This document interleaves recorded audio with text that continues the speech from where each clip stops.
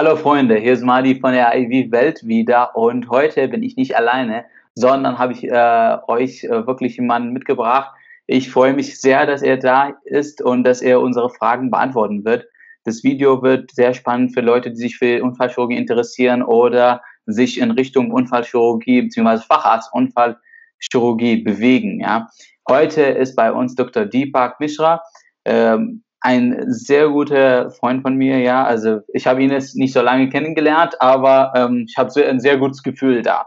Und zwar, ähm, er hat sein Studium in Indien beendet, ist 2015 nach Deutschland gekommen und seitdem arbeitet er in der Unfallchirurgie. Das ist nicht das Einzige, was er macht. Ja, er hat auch einen YouTube-Kanal, wo er ähm, DME NITS international beziehungsweise international, wo er auch ausländische Ärzte hilft, ähm, die Fachspracheprüfung in Deutschland zu schaffen. Das finde ich wirklich sehr bemerkenswert. Und er ist noch, er ist noch ein Papa, also Superman für mich. das habe ich nicht geschafft, hatte er geschafft. Ähm, ja, und äh, wir haben hier heute ein Interview und da kann man wirklich äh, viel von ihm lernen. Ich freue mich, dass du da bist. Ich gebe jetzt dir das Wort und äh, darfst du dir äh, vorstellen, Es freut mich sehr, dass ich äh, in, in, dir, äh, in diesem Kanal mit dir ein Interview machen darf. Äh, ich habe auch deinen YouTube-Kanal gesehen, das war so, äh, so spannend, das war so viel äh, Information, das habe ich gesagt, ja okay, ich muss mit dir was machen und äh, ja, dann haben wir uns entschieden, so, okay, wir tauschen unsere Informationen, unsere Erfahrungen ja. mit den Kollegen, die noch nicht da sind oder immer noch so unterwegs sind sozusagen, die ja, gerade ja. angefangen haben und äh, ja, und äh, vielen Dank für dein also so nettes so Vorstellung. Äh, Gerne. Ja, ähm, wie äh, Madi gesagt hat, äh, Deepak Mishra ist mein Name. Ich bin seit 2015 hier.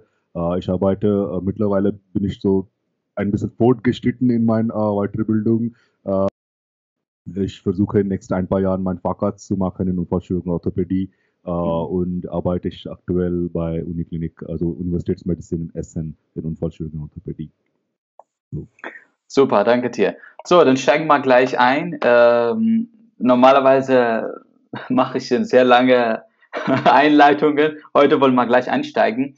Ähm, so, Unfallchirurgie warum dann Unfallchirurgie? Was sind die Vorteile, was sind die Nachteile? So, du bist jetzt schon ein paar Jahre drin. Das, ja. äh, da hast du eine andere Ansicht. Die ich, würde mich interessieren, das zu hören. Für Unfallchirurgie, für, für jeden Fachbereich, das ist gültig. Das äh, muss man erstmal Interesse daran haben.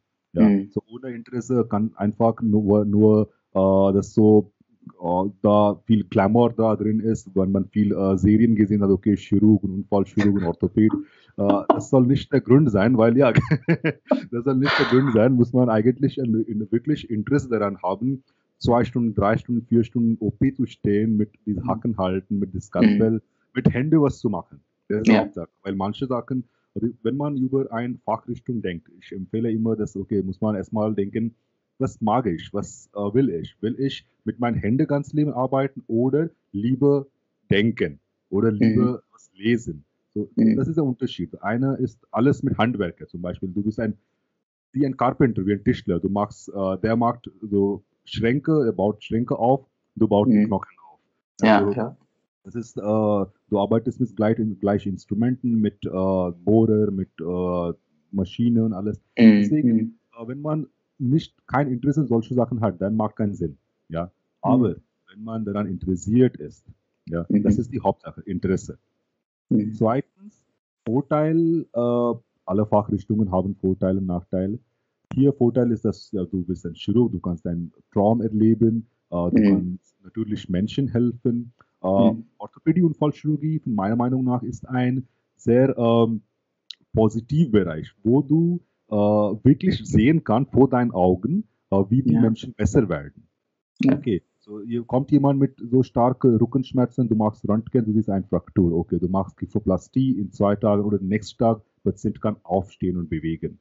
Da ist mhm. jemand mit Hüftschmerzen seit Jahren, kann kein Treppenlauf also steigen, kann kein so 100 Meter gehen. Du machst mhm. eine Hüftprothese und jetzt ist er wieder fit. Ja, diese ja. Zufriedenheit und mhm. das ist sehr, sehr hoch in diesem Fachbereich Orthopädie und Fallchirurgie. Wenn jemand eine mhm. Fraktur hat, kann man nichts machen. Äh, und äh, nach OP kann alles machen, wie, wie neu.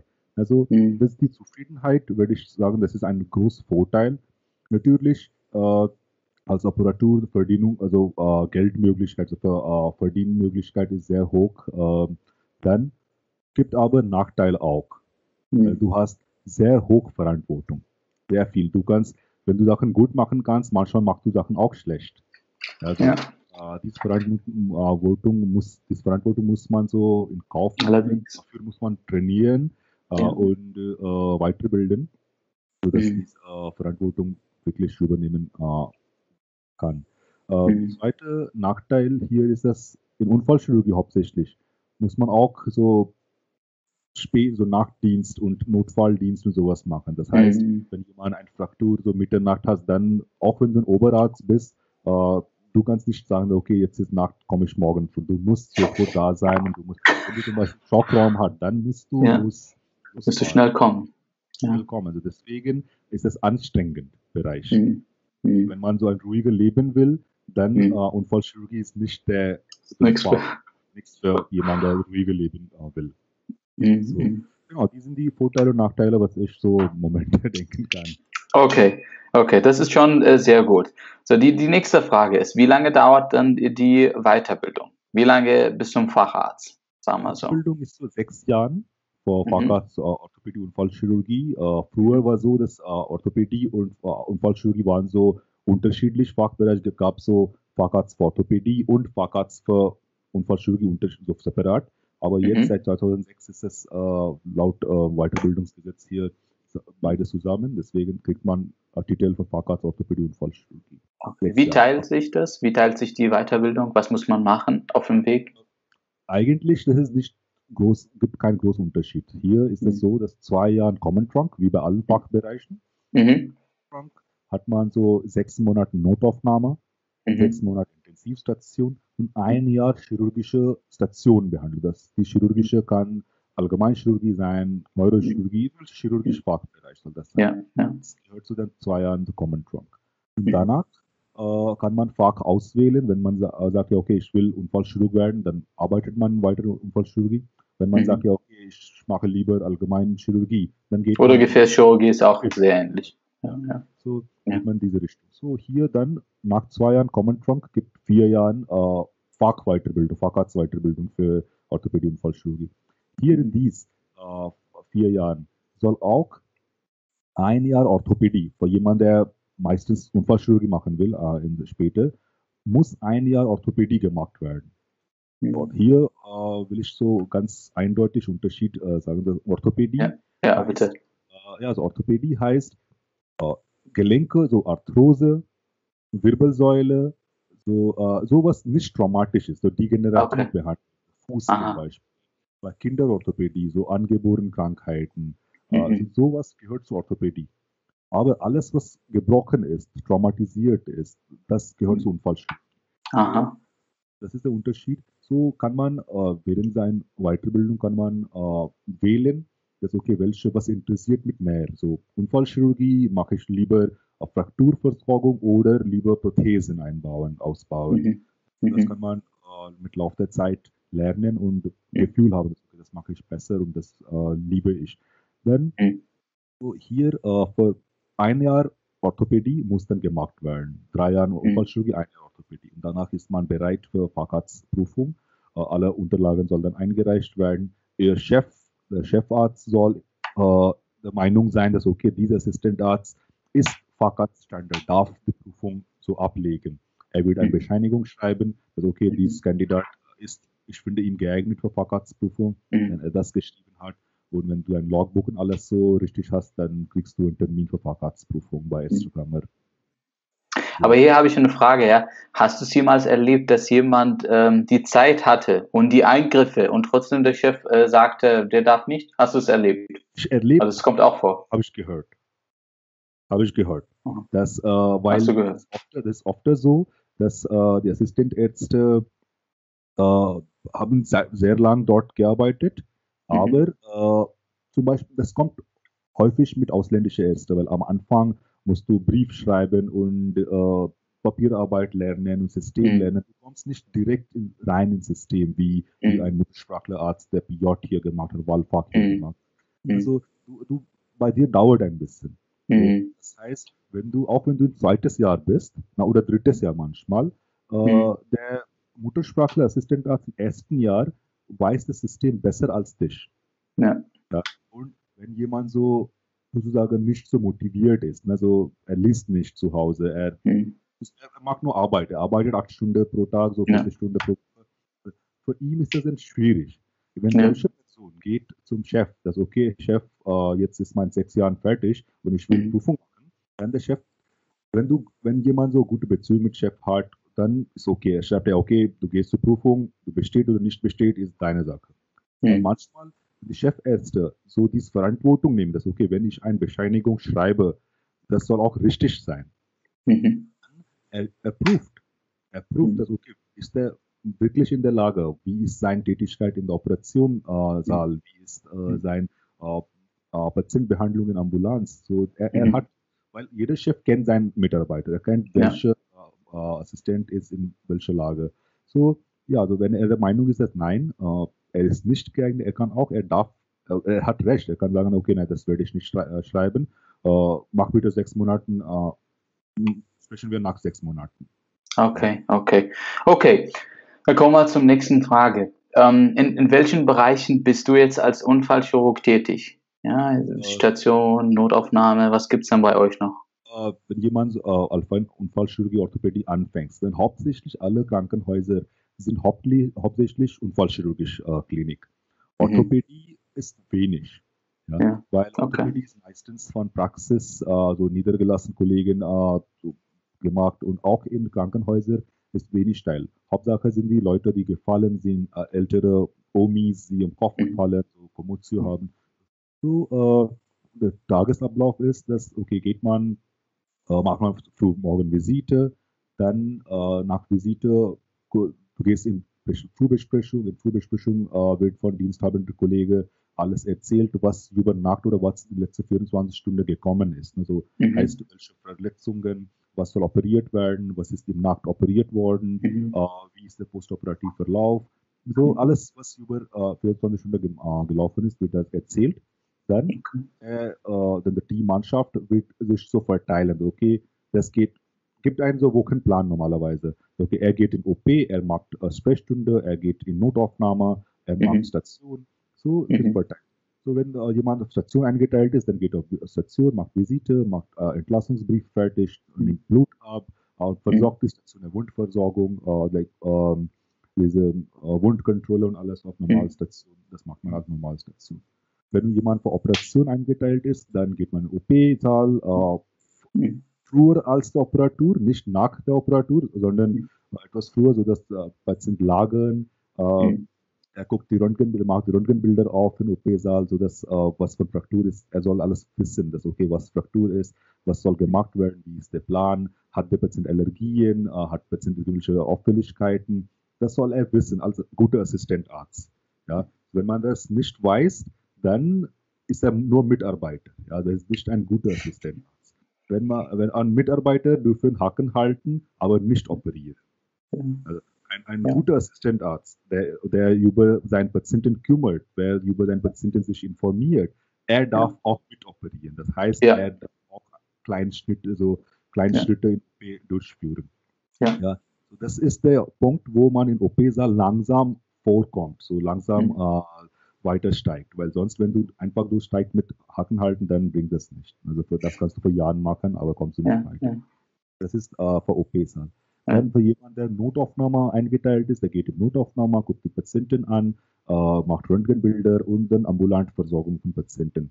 Äh, mhm. Ambulantversorgung hier äh, heißt so hauptsächlich Fraktur und äh, so Trauma-Dings, ne, so Hämatom, Ausräumung, Wundinfekt, mhm. äh, Debridement und sowas. Mhm.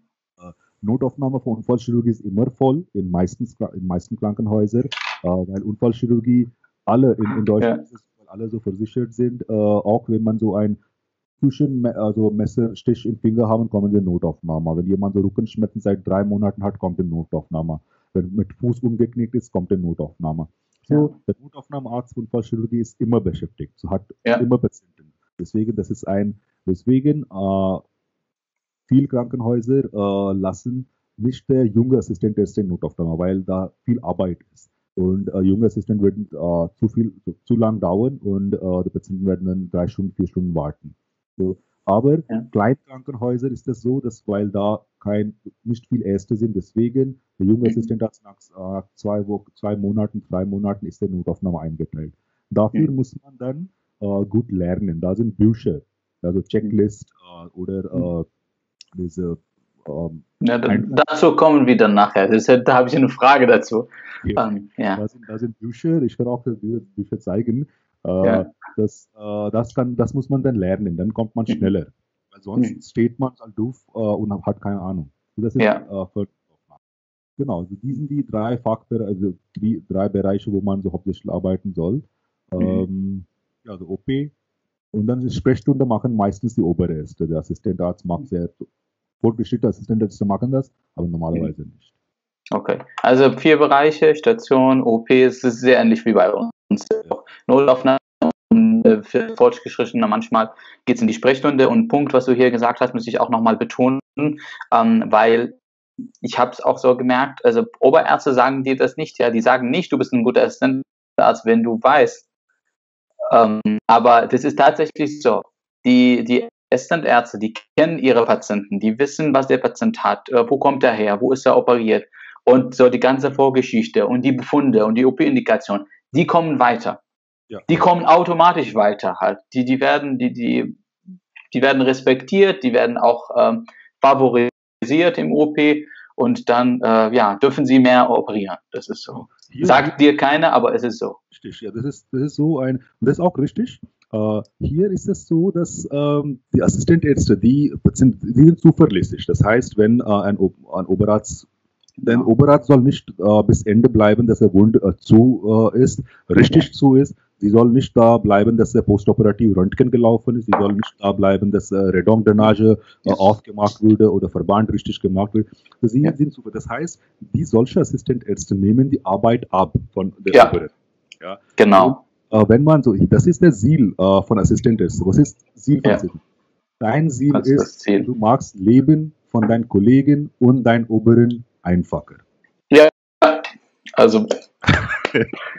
warum, kann, warum gehst du bei der Arbeit, äh, dein Ziel bei der Arbeit ist, du, ich komme, weil ich äh, Leben von meinen Kollegen und von meinen Oberärzten und meinem Chefarzt einfacher machen will. So ist das, so ist das. Und dann später wird jemand mein Leben einfach machen. So ist es. Genau, so sehe ich das. das also das perfekt. Macht, dann kriegst du das auch reziprokal. So von, äh, du kriegst das äh, ja. von Oberst auch. Die Kollegen werden dich da unterstützen für Sachen.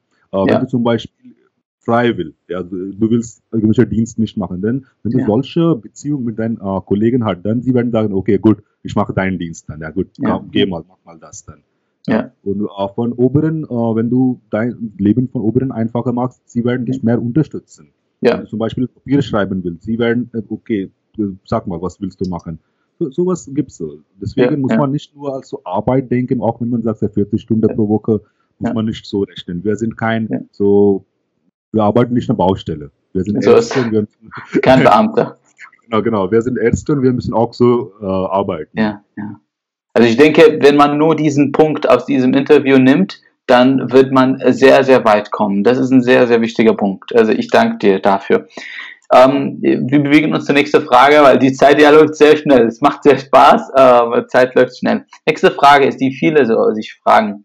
Soll ich jetzt in einem kleinen Krankenhaus anfangen oder Maximalversorger oder ohne Klinikum? Was würdest du sagen am Anfang?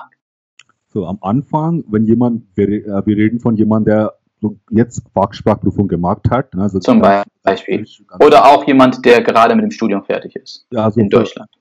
Für jemanden, der mit Sprache sich zutraut, also für jemanden, zum Beispiel ein Deutscher. Für, ja. für, solche Personen ist ein Maximalversorger Uniklinik geeignet, weil okay. dort lernt man Struktur. Da sind vier verschiedene Abteilungen, verschiedene Leute da. Aber für einen ausländischen Arzt mit gebrochener Sprache, äh, okay, wo äh, wer das System kennenlernen soll oder muss, der soll klein anfangen. Mhm. Der soll äh, in Reha-Klinik, Vorapprobation macht auch keinen Unterschied, wenn man in Reha arbeitet, Reha-Klinik arbeitet. Ja, ja, also weil, ja. weil äh, deine äh, Weiterbildung ist gerechnet nach Approbation Urkunde, wenn du Approbation hast. Davor kann man auch mit Berufserlaubnis Reha arbeiten, Kleinkrankenhäuser, weil in Kleinkrankenhäusern, da sind wenig, Team ist klein und von diesem kleinen Team kannst du viel lernen, kannst du äh, wissen, wie das sein soll. Sie werden auch dich persönlich was beibringen. Mhm. Wenn du ein großes Team bist, dann stehst du in die Ecke. Da, da und du wirst irgendwann dann äh, raus von dem System. Ja. Weil, weil, sie können mit dir nicht sprechen. Äh, du willst das nicht verstehen, was sie meinen und sie haben auch keine Zeit äh, und auch keine Lust, äh, ja. Zeit einfach so verbringen, jemandem beizubringen, weil das ist ja. Arbeit ist viel und sie wollen auch äh, Arbeit schnell machen, nach Hause gehen. Ja. Deswegen meine Empfehlung wäre, dass äh, am Anfang Reha-Klinik oder ein Kleinkrankenhaus, Grundregelversorgung, 200 Betten, 300 Betten Krankenhaus sind in der, in der, in der Regel so gute, weil da sind auch viele ab verschiedene Abteilungen und das Team ist auch nicht groß. Wenn du mhm. zum Beispiel ein 1000 Betten Maximalversorger gehst, da ist es ziemlich stressig. Mhm. Ja, und das, das Stress braucht man nicht unbedingt, muss man nicht unbedingt okay. machen. Ja. Das ist ein sehr wichtiger Punkt und da, da muss ich auch äh, nochmal betonen, es ist auch nicht persönlich, ja, dass, dass die Leute, ähm, ist, die haben einfach keine Zeit in diesen großen Krankenhäusern. Es ist einfach ein enormer Zeitdruck und man will auch selber weiterkommen. Also man will dir helfen, aber auch selber weiterkommen. Wenn ich so wenig Zeit habe, dann habe ich jetzt keine Zeit, um dir alles zu erklären. So ist es leider. Es ist einfach, es ist keine Zeit, es ist keine Zeit für die Weiterbildung. Ist vorgesehen im Alltag hier. Ähm, ja, dann meine nächste Frage, ja, da fragt man sich auch, wie lange dauert so wirklich, bis man selbstständig jetzt in der Unfallchirurgie operieren kann? Was meinst du da? Hier am Anfang, beginn, erste Jahr, äh, beginnt man mit Metallentfernung, so kleine okay. Operationen, so äh, Mittelhandknochenfraktur, Metall, so äh, Schraubenentfernung, Platteentfernung, sowas, Kleinigkeiten. Weichteil-OP mhm. zum Beispiel, ähm, Abszess, äh, Ausräumung, Hämatomausräumung, mhm. sowas. Dann im zweiten ja. Jahr geht man langsam weiter. So mhm. größere Metallentfernung, zum Beispiel äh, Femornagel oder Tibianagelentfernung, so mhm. sowas. Äh, Wurzelektomie kann man machen, Arthroskopie kann man ein bisschen probieren. Das ist alles unter so Begleitung. Ne? Das darf, du machst du nicht allein im OP-Saal, mhm. äh, aber du bist Hauptoperator, du darfst das anfangen. Ja. Du musst davor das beweisen, dass du weißt, was du machen. Du hast einen Plan. Ja. Du musst ja. immer, weil äh, viele Oberärzte äh, erwarten, dass du erzählst, okay, ich mache jetzt, werde ich so, so, so machen. Genau. Und dann genau. machst es. Nicht einfach Skalpell nehmen und irgendwas machen. Das darf man nicht machen. Dann kriegt ja. man zweites Mal keine Chance. So, äh, dafür muss man so auch bereit sein. Immer am Vortag sehen, okay, ob du im OP-Plan stehst und dann ja. äh, dafür vorbereiten. Ja. Dann weiter, wenn man so je nach, also man dann macht, ab zweiten Jahr kann man auch Frakturversorgung, zum Beispiel Radiusplatte, Sprunggelenkplatte, äh, äh, Gammanagel. Diese Operationen darf man ab dritten Jahr, zweiten Jahr Ende so anfangen machen. Mhm. Langsam, äh, ja, langsam kommt dann bei Ende hauptsächlich so Hauptoperationen, so komplizierte Operationen gegen so sechste Jahr.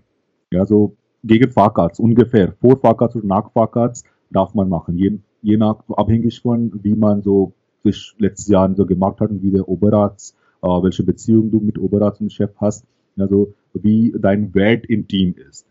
Also mhm. abhängig davon darfst du das machen. So, mhm. äh, weil und nach Fahrkarts, wenn du da bist, dann machst du Dienst. Und äh, hauptsächlich lernt man in Dienst. Ja. äh, wenn du Fahrkartsdienst machst, dann äh, musst du das nach Fahrkarts arbeitet man drei, vier Monaten erstmal äh, in Einarbeitung, so dass er hat Dienst, aber gibt auch einen Hintergrund, der erfahrene Oberarzt da ist. Ja. Mhm. So, äh, und danach, wenn, wenn man äh, versteht, dass okay, er kann die Sachen machen, dann lässt man das. Okay, gut, jetzt machst du Dienst. Und nur in schwierige Fälle, wenn du das nicht weiterkommst, dann ich bin auch da, also zu Hause, ruf mich an. Ja. Mhm. So, äh, das, das heißt, eigen, äh, selbstständig operieren kommt äh, ungefähr na, so ungefähr gegen Fahrkarts, vor oder ein bisschen nach, so sechste Jahr nach Fahrkarts ungefähr dann. Mhm. Ja. Okay. Das ist das System jetzt in einem Uniklinikum, sag ich mal so. Das ist nicht überall. Das ist, äh, das habe ich auch in äh, anderen Kleinkrankenhäusern gesehen. Das ist ungefähr mhm. so. Ja, ungefähr so. Das ist ungefähr so, genau, genau. Also manchmal dauert es ein bisschen länger, ein bisschen kürzer, ja. Je nachdem, was, was die machen, oder?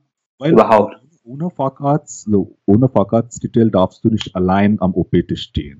Also, mhm. Du brauchst einen Facharzt, der neben dir ist. So, ja. Äh, was du während dieser Zeit machst, zum Beispiel, das ist von deinen äh, Erfahrungen deinen Sachen. Du darfst, manchmal ist es so, dass du darfst machen, was du kannst. Mhm. Okay, wenn du sagst, ja, ich, ich kann Clavicula versorgen, und ja. ich habe das schon mal gemacht, dann äh, mhm. der Oberarzt wird sagen, okay, mach das, ich gucke. Ja? Okay. Wenn du das richtig machst, dann, okay, das nächste Mal machst du das ohne viel Aufsicht. Dann er steht irgendwo in der Nähe und dann machst du das. Ja. Also, das darf man machen, aber nicht in den ersten, ersten vier Jahren. Ja. Also erst vier Jahren sind für Basissachen, muss man Theorie ja. viel lernen und alles, aber danach so fünfte Jahr, sechste Jahr darf man langsam operieren. Aber da ist ja Engagement gesagt, du hast ja gesagt Vorbereitung, man muss ja auch lernen und sich, es sind viele Schritte, bis man äh, dazu kommt. Oh, viele wollen äh, direkt bei der OP anfangen ja, und gar keine Schritte davor. Das funktioniert so nicht leider. Ja, das ist die, das ist das, also viele klagen oder ich glaube alle, alle chirurgische Weiterbildung, Assistentärzte äh, also klagen oder sind der Meinung, dass sie kriegen kein, so nicht viel Chancen OP Sie, Sie haben Recht, so äh, steht viel zu. Genau, genau, ja, Sie haben Recht. Sie haben Recht, Recht auf Operieren. Sie haben Recht auf Operieren, aber ja. das geht nicht um Recht. Das geht um, äh, du kannst nicht verlangen, dass, okay, ich will mehr operieren. Du musst das zeigen, dass, okay, ich kann das. Das ja. dir verdienen. Ja, du hast, ja genau, du hast es, du musst sagen, du hast es verdient und nicht, ja. dass ich habe Recht für Weiterbildung. Ja, ja, ja. Also da stimme ich dir 100% zu, höre ich immer wieder. Wir haben Recht und die müssen uns äh, beibringen und so weiter. Du kannst versuchen, so mit diesem Recht, äh, Geschichte, mit, aber. Du kannst einen Anwalt, du kannst einen Anwalt mieten. Genau. ja, genau. Super. Dann komme ich jetzt zur nächsten Frage. Ja. Welche, welche Bücher haben dir äh, geholfen? Welche Kurse hast du so gemacht und du denkst, ähm, man muss das unbedingt machen und unbedingt lesen?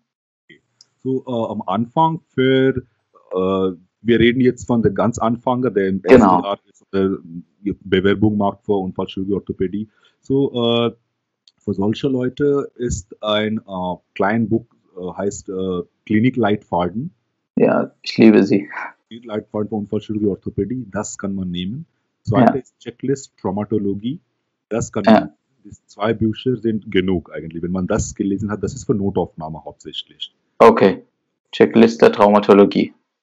Das ist für Notaufnahme. Ja. Und wenn man äh, dann äh, gibt Bücher von Grifka. Das ist, ja. äh, ich habe jetzt das PDF, ähm, aber das Orthopädie und Fallchirurgie. Bücher sind viele, aber Orthopädie, das Buch heißt Orthopädie und Fallchirurgie und der mhm. Autor ist Grifka. So, das Grifka, Standard, okay. Standardbuch gibt zwei Versionen. Eine ist klein, so 400 Seiten. Äh, mhm. Das ist für Anfang okay. Und für Facharzt muss man eine große Version äh, lesen. Das ist für 1000 Seiten. Mhm. Äh, so, das, ist, uh, das ist der Standardbücher. Dann von Kursen muss man uh, AO-Trauma-Kurs machen. Mhm. AO-Trauma. Arbeits, Arbeitsgemeinschaft für Osteosynthese. Ja. Also, die sind etwas teuer, aber wenn man arbeitet, dann wird das vom Krankenhaus meistens bezahlt. Okay. Also das ist sehr wichtig. Wie lange ist dieser Kurs? Wie viele Tage? Drei, vier Tage ungefähr. Drei, vier Tage, okay kann man direkt mhm. an AO äh, Foundation äh, Website gehen, da wird man so das sehen. Okay, so AO Trauma, da lernt man so Grundkenntnisse, Grundsachen von Osteosynthese. Warum mhm. ist hier eine Platte gemacht? Warum ist hier eine nur so Schraube? Warum mhm. macht man eine Prothese hier? So äh, mhm. Grund, Grundlagen oder Grundlagen von ähm, Osteosynthese wird dort ja. gelernt oder gelehrt. So, mhm. äh, das kann man machen.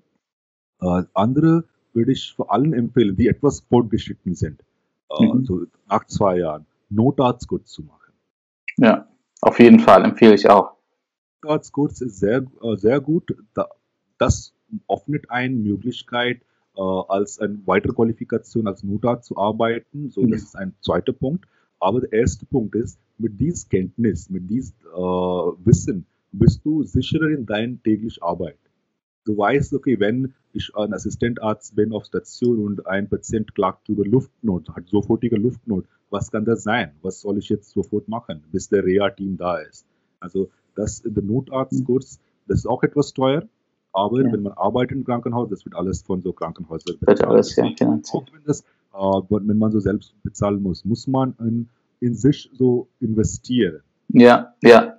Geld ausgeben, weil Hauptsache, das ist okay, Geld ist wichtig und alles, ich verstehe. Und wir Ärzte in Deutschland oder Assistentärzte sind nicht so reich in Deutschland, äh, viel Ausge Geld auszugeben, aber diese Investition, das, ist, das hilft viel und das bringt eine Sicherheit in deiner ja. täglichen Arbeit. Und das ja. merkst, merkst, du und merken deine Patienten, merken äh, das Team, die Schwestern merken das, okay, dieser Arzt, er hat Ahnung, er, er weiß, was er macht. Also das hat ein gutes Gefühl, hast du dann, wenn ja. du in solcher Umgebung arbeitest. Deswegen, mhm. und dann andere für, äh, spezifisch für Traumatologie ist ein ATLS, Advanced Trauma Life Support. Mhm. Das ist eine Voraussetzung für viele Krankenhäuser, wenn man jetzt im Bewerbungsprozess ist oder am Anfang äh, so Weiterbildung ist. Das ATLS äh, ist, Advanced, wie gesagt, Advanced Trauma Life Support. Das äh, bringt dir, das ist ein amerikanisches Unternehmen und mhm. Äh, das ist eine Voraussetzung für Notaufnahmearbeit, zum Beispiel im Universitätsklinikum. So, okay. Äh, ohne äh, ATLS-Zertifizierung darfst du nicht in Notaufnahme arbeiten oder darfst du nicht in äh, Schockraum arbeiten. So, dies, so, ich denke, diese Kursen sind so wichtig. Sonst gibt es viel äh, Zeit, Zeitschriften und viel äh, Internetportal, was man so lernen kann. Aber die sind die wichtigen Bücher und Quellen. Dann eine sehr wichtige Frage, ja, die mich so immer wieder beschäftigt. Ja. Man sagt schon, im OP ist der Ton immer rau.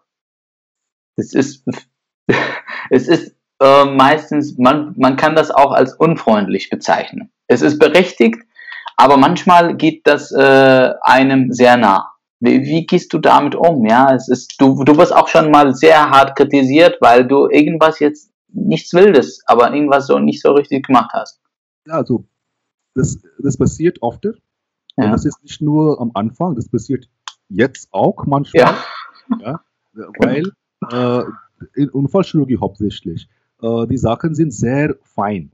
Ja. Wenn du was ein Stück nicht richtig machst, dann der gesamte OP äh, wird keinen Erfolg haben. Das wird postoperativ scheitern, das wird nicht helfen, das wird nicht äh, gut werden.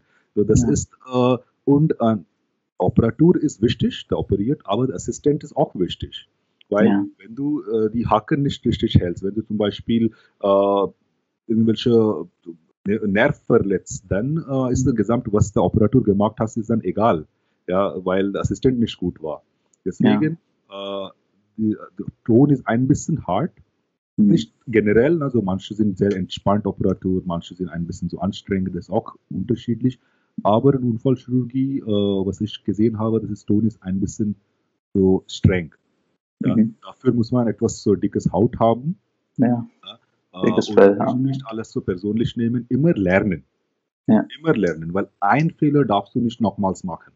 Mhm. Und in, in, das ist einfach gesagt als gemacht, weil ja. äh, du sagst ja, okay, ich werde gleich Fehler nicht nochmals machen. Aber äh, wenn man so viele Sachen machen muss und äh, konzentriert in einer Sache, dann, weil das ist eine Handarbeit. Deine Hand ist, ist, du bist ein äh, Sklav von deiner Gewohnheit. Ja. ja. Mensch ist ein so Sklav von seiner Gewohnheit. So, du bist gewohnt, eine Sache so zu machen und du wirst in Stress immer wieder dasselbe machen. Ja. Immer wieder, auch wenn du weißt, auch wenn letztes Mal du so ja. äh, dafür Anschluss gekriegt hast, dass okay, sollte nicht ja. so sein, auch nicht so sein, du wirst das so machen. Deswegen braucht Zeit und muss man so aktiv dann denken, dass okay, jetzt mache ich so, so, so. Ein Knoten zum Beispiel mache ich so einen Knoten, weil ein Operator sagen mit zwei Händen machen, andere wird sagen mit einem Handknoten. Äh, einer wird sagen, so, das ist ganz unterschiedlich. Deswegen muss man so dickes Haut haben und ja. langsam lernen. Ja. Und langsam kommt man dann. Ja, ja, genau, genau. Ja, und das ist ein sehr wichtiger Punkt, hast du gesagt. Jahrelang habe ich auch das gesagt, ich weiß das. Warum dann bringe ich das nicht in, in Umsetzung? Ja? Man sagt ja, Wissen sind drei Stufen. Erste Stufe ist Wissen, ich weiß das, aber das bringt dir nirgendwo, dass du irgendwas weißt. Viele Menschen wissen, dass sie zum Beispiel nicht rauchen sollen, rauchen sie aber trotzdem. Und dann die erste Stufe ist ähm, Verstehen. Verstehen heißt, was du weißt, kannst du auch umsetzen. Und die dritte Stufe ist Erfahrung. Das ist eine ganz andere Stufe. Ja, es ist auch bei zum Beispiel beim Autofahren. Du weißt alles, aber bist du ein erfahrener Fahrer? Das ist eine ganz andere Geschichte. Oh, genau. Das, das, ja, genau. deswegen. Das ist eine Analogie, ganz richtig. Äh, und das, das äh, passt auch zum Operieren. Genau, genau. So, dann meine nächste Frage, es ist äh, eine meiner wichtigsten Fragen, weil ich, ich finde, viele Ärzte sagen, ähm, ja, es ist alles toll, du hast gesagt, lernen und so weiter, ich habe aber keine Zeit. So, du arbeitest jetzt, du bist Assistentarzt in äh, Uniklinikum, du hast einen YouTube-Kanal und du hast auch ein Kind, ja, und du machst auch noch nebenbei äh, Kurse und so weiter. Was ist dann Zeitmanagement für dich? Wie kannst du so viel schaffen? Ja, äh, äh gibt es viel, viele, die gar nichts schaffen. Wie, wie schaffst du das denn? Erstmal, wie gesagt, da muss man so Leidenschaft vor irgendwas haben. Also mhm. ich will das, ich muss das. Äh, du kannst aufgeben ist sehr einfach. Das ja. sage ich immer bei allen. So, das Einfachste, was man machen kann, ist aufgeben. Das, okay, so das ist zu schwer für mich, ich würde das nicht machen. das ist sehr einfach. Das kannst du jederzeit machen. Ja. Ja. Das ist zu schwer, operiere zu schwer, ich werde nicht operieren, ich mache allgemein also Praxis irgendwie. Oder so, das ist sehr stark, aber das muss man nicht machen. Äh, wie ich das mache, ja. ist nicht leicht für mich, das ist auch sehr anstrengend für mich. Mhm. Äh, aber ich versuche das zu priorisieren. Ich versuche, ich lese ein bisschen, wie man Zeitmanagement, weil Zeit ist ein, äh, ein Asset, ein, äh, was, äh, wenn einmal weg ist, dann kannst du, hast du nicht, dann ja. ist es verloren. Ja? ja Zeit musst du sehr, sehr aufmerksam, sehr bewusst also ausgeben. Das ist dein Geld, das ist mehr, ja. wichtiger als Geld. Wichtiger als Geld. Ich, ich äh, hasse solche E-Mails oder solche äh, Facebook äh, so die schreiben, ich weiß nicht wie viel, und dann, da ist keine Frage, da ist nichts für mich. Was soll ich jetzt sagen? Ich will, ich habe kein Interesse an diese äh, Vorgesicht kennenzulernen. Ja. Äh, deswegen Zeit, da sind viel Distractions in, äh, heutzutage. Da sind ja. so viele Medien, so viele Leute, die irgendwas von dir wollen, äh, telefonieren. Äh, ja. Das muss man alles so irgendwie, das muss man versuchen, alles wegzulassen. Ja. Weil du musst fokussieren, was ist wichtig für dich und dann äh, musst du äh, die Priorität setzen. Das, okay, ja. das mache ich erst, dann mache ich das. Und wenn Zeit bleibt, dann mache ich das auch.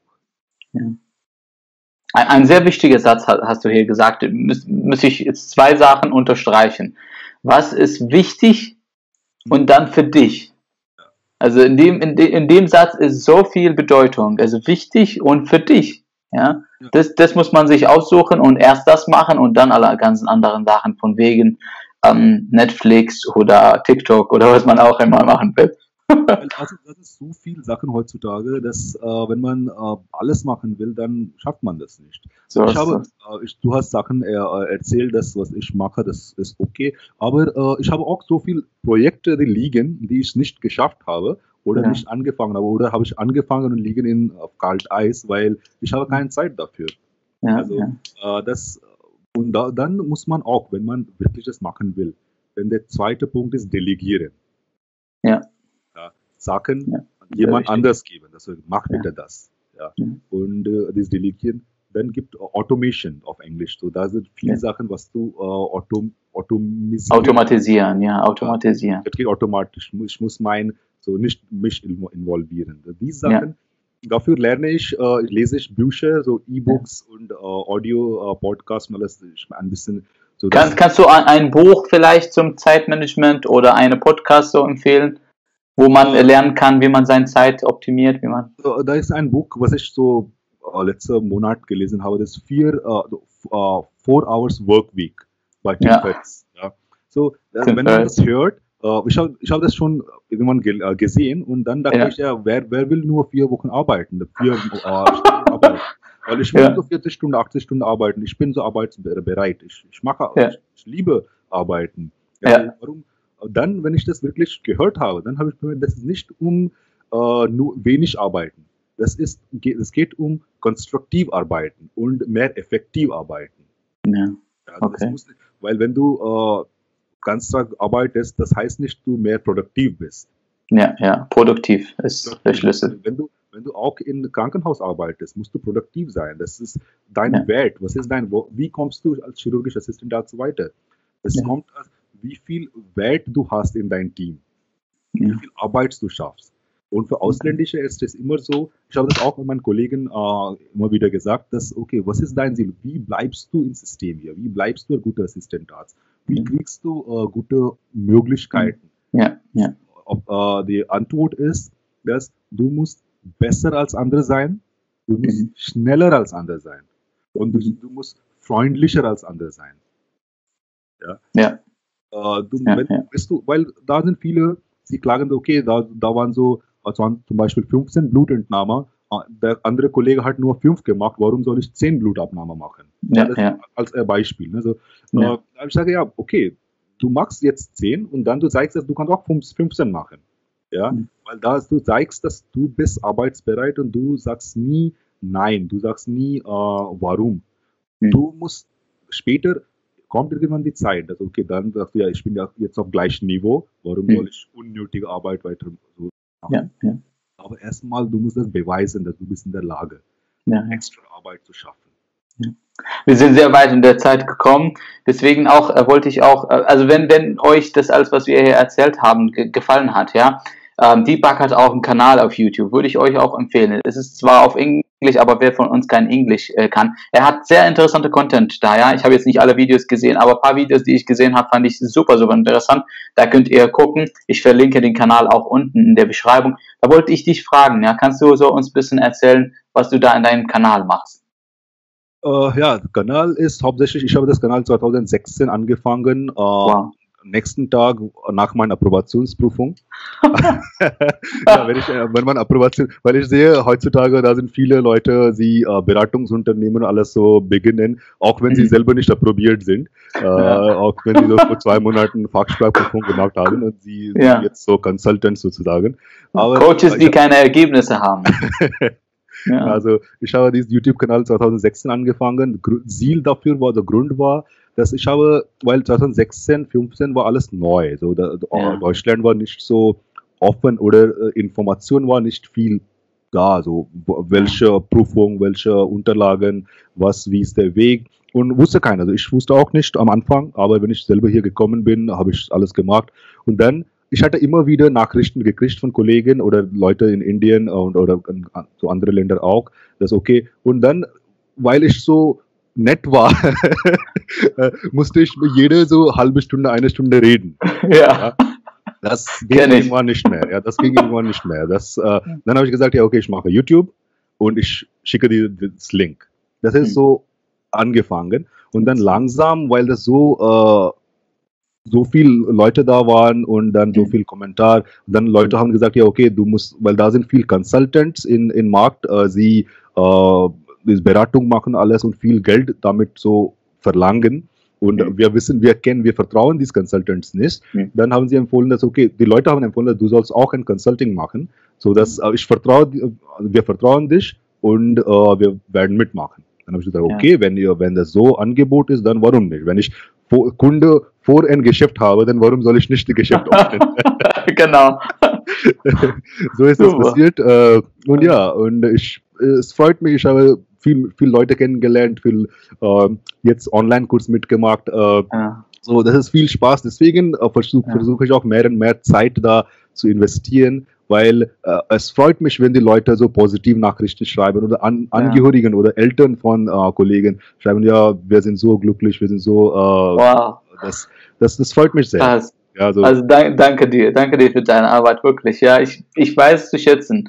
Weil ähm, so genauso wie du sagst, am Anfang haben mir ein paar Kollegen geholfen, aber so jemand, das, der, der stabil da war, das, das gab es nicht, ja. Und, und ich finde es wirklich toll, was du da machst.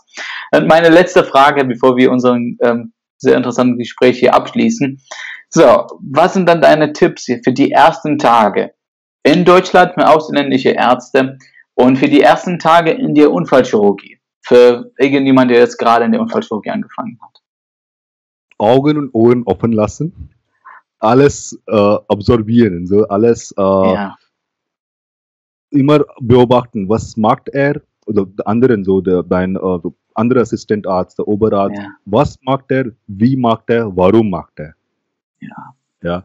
Wenn du das für nächste erste sechs Monaten so beobachtet hast, gelernt hast, dann, dann bist du drin. Dann weißt du wow. das und dann nebenbei die Bücher lesen. Und wenn du das magst, dann äh, ist okay, dann kannst du weiter äh, arbeiten. Das wird nicht wow. sein. Ja. Danke dir. Ein, ein, Tipp fürs Leben. Ich habe sehr viel von dir gelernt. Ja, vielen, vielen Dank, dass du da warst. Ähm, viele von den Sachen, worüber wir gesprochen haben, werde ich dann in der Beschreibung dann verlinken, die ganzen Bücher und Kurse und so weiter.